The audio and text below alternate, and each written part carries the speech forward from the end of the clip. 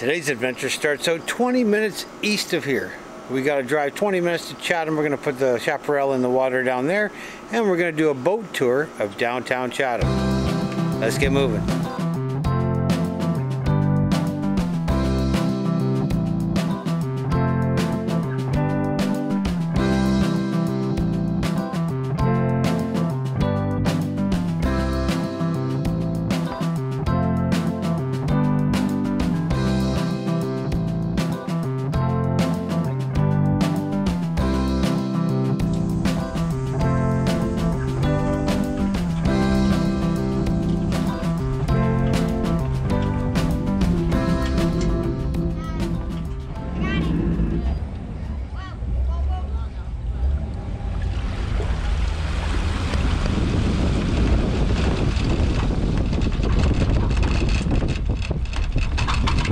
We have made our way to the boat launch in Chatham, down here at the Thames Conservation Area. This is our first time being here with the boat.